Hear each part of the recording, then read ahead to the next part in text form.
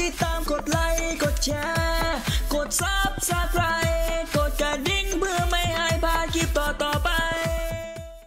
สวัสดีครับมาอยู่กับช่องเดอะราชาแนลอีกแล้วนะครับผมวันนี้นะครับผมจะมาพูดถึงละครที่มีเรตติ้งสูงนะครับผมถึง 2 หลักด้วยกันที่เพิ่งจบไปนั่นก็คือเรื่องมธุรสโลกันตร์นั่นเองนะครับวันนี้นะครับผมจะหยิบมาพูดกันสักหน่อยแล้วกันว่าเฮ้ยเรตติ้งประมาณนี้นะครับผมพอหรือยังและพอใจกับแฟนๆหรือเปล่านะครับผมต้องบอกว่าแฟนๆนะครับผมลุ้นว่าเรตติ้งเนี่ยมันจะพุ่งแซงผู้บ่าวอินดี้ยาหยีอินเตอร์เลยนะฮะแต่ว่าพอเรตติ้งเนี่ยถูกเปิดเผยออกมาแล้วนะครับผมค่อนข้างสูงอยู่เหมือนกันนะ11.1 นะครับ ซึ่งสูงกว่าละครหลาย ๆ เรื่องเลยด้วยซ้ำนะครับ และเป็นละครที่เรตติ้งเนี่ย ถึง 2 หลักเนี่ย ถือว่าโอเคและทำได้ดี แต่มีหลาย ๆ คนนะครับผมดูจากคอมเมนต์ที่ผมทำคลิปไปเนี่ย ค่อนข้างผิดหวังเหมือนกันนะ หวังว่าเฮ้ยจะ 12 จะแซงผู้บ่าวอินดี้ยาหยีอินเตอร์ เขาก็ให้เหตุผลกันว่าไม่น่ามาจบวันศุกร์เลย เพราะว่าวันศุกร์เนี่ยเป็นวันที่คนกลับบ้านและเป็นวันศุกร์ต้นเดือนด้วย คนออกไปใช้เงินนะฮะ ถ้าจบวันเสาร์วันอาทิตย์เนี่ยเรตติ้งต้องพุ่งเหมือนสารวัตรใหญ่แล้วก็เรื่องผู้บ่าวอินดี้ยาหยีอินเตอร์อย่างแน่นอนนะครับ โอเค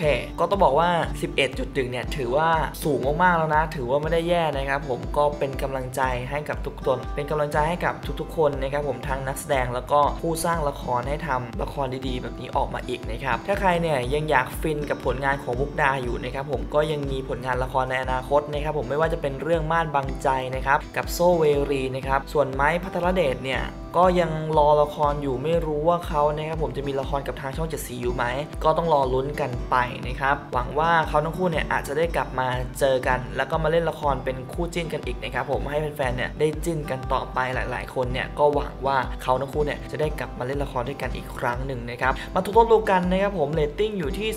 11.1 นะครับผมซึ่งเทียบเท่ากับละครของทางช่อง3นั่นคือเรื่องกรงกรรมนั่นเองนะครับเรื่องกรงกรรมเนี่ยเป็นละครที่เรตติ้งสูงที่สุดอันดับ 3 ของปีนี้นะครับผมและมธุรสโลกันตร์เนี่ยก็ได้เรตติ้ง11.1 เท่าเท่ากับกรงกรรมเลยนะครับ ถือว่าเป็นการขึ้นมาครองอันดับ 3 นะครับ ควบคู่ไปกับเรื่องกรงกรรมนะครับ เรื่องกรงกรรมนะครับผมเนื้อหาเนี่ยจะเป็นเนื้อหาเกี่ยวกับการสอนคนนะครับ เกี่ยวกับการทำความดีทำดีได้ดีทำชั่วได้ชั่วนะครับ แล้วก็เป็นเรื่องราวชีวิตค่อนข้างดราม่านะครับ ใครทำสิ่งไหนเนี่ยได้สิ่งนั้นนะครับผมทำให้เรตติ้งเนี่ยพุ่งกระฉูดได้ไปจนถึง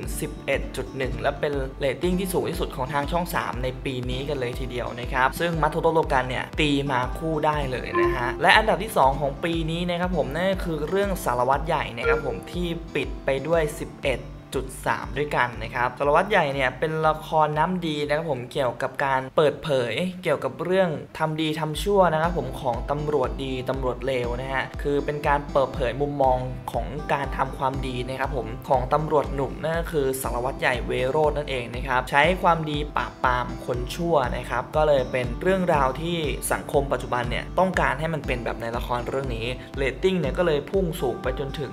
11.3 ก็เลยนะฮะได้เรตติ้งที่อันดับ 2 สูงที่สุดของปีนี้นะครับผมและอันดับ1นะครับผมซึ่งไม่มีใครเนี่ยที่จะล้มเขาได้เลย ปีนี้เนี่ยก็คาดว่าน่าจะไม่มีนะ เพราะว่ามันใกล้ที่จะสิ้นปีแล้วนะครับนั่นก็คือเรื่องผู้บ่าวอินดี้ยาหยีอินเตอร์นั่นเองนะครับผมพี่เวียร์ ศุกลวัฒน์เนี่ยมาดึงเรตติ้งให้พุ่งกระฉูดนะครับผมไม่ว่าจะเล่นเรื่องไหนเนี่ยเรตติ้งพุ่งกระฉูดอยู่แล้วนะครับด้วยความที่ได้พระเอกนะครับเป็นคนที่สามารถดึงเรตติ้งให้พุ่งได้ และด้วยเนื้อหาของละครเรื่องนี้นะครับผมออกแนวอีสานนะครับทำให้มีผู้ชมนะครับผมมากนะครับ และเรตติ้งเนี่ยพุ่งสูงอยู่ที่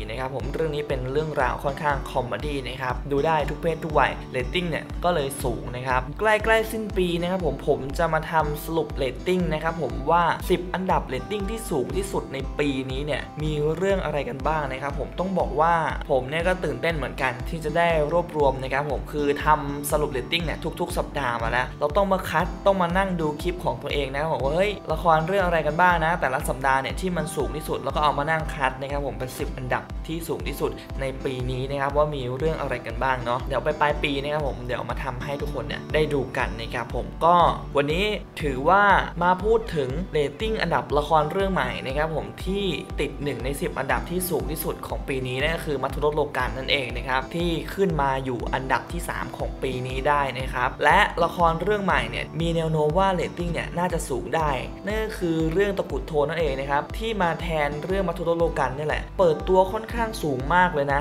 อยู่ที่ 7.7 นะครับผม โอ้โห